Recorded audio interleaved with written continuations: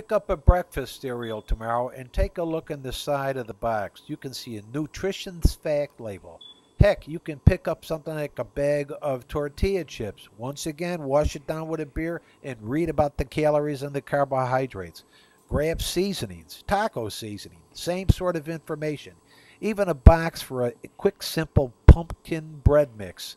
Uh, all the information's there. Dog food. I'm only kidding about the dog food, actually.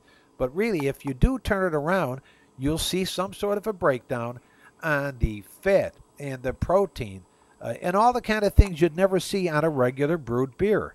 And why is that? Well, with the regular brewed beer, unless it's a, a light beer or a low carb beer, federally mandated, it's not necessary to show that information.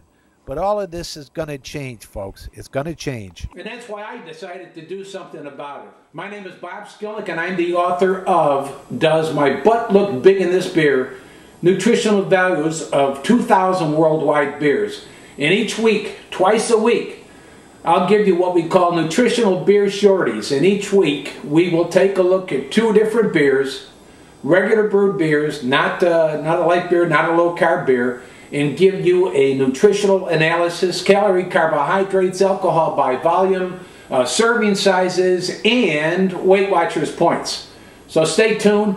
We're going to take a look at a beer this week, coming up right now.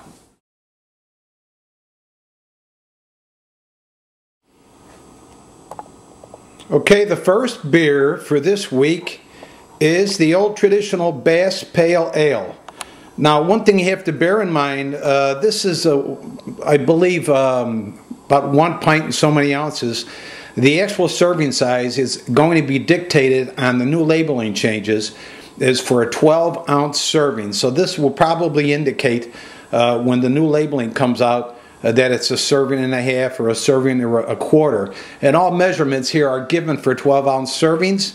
So for today's Bass Ale 12 ounce serving, there are 13.2 carbohydrates, 132 calories.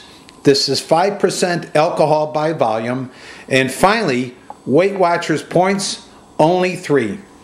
All right, come on back, and uh, later on we'll have another beer. Don't forget, twice a week we'll be giving you these nutritional beer shorties.